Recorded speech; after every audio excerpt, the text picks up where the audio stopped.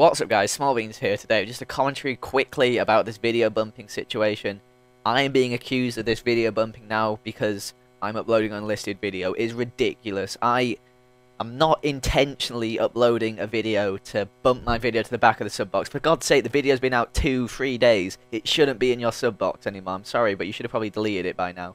Uh, but now I'm getting accused of this fucking thing because some guy brought it up, Ukrainian Limbs, uh, said that people are using it to their advantage. And if people are like doing it purposely to video bump, then yeah, that's bad. But I'm not doing it purposely, and I'm sure a lot of other YouTubers aren't doing it purposely. But yet we are getting accused of this bullshit thing.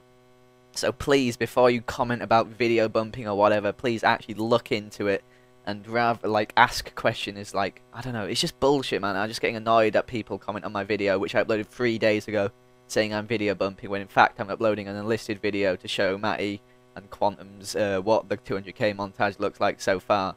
So just a quick little rant, I'm sorry but please can you stop moaning about this video bumping thing, it's not that big a deal to be honest. People are just trying to find the little things to fucking troll about, so that's basically all I've got to say guys, thanks for watching.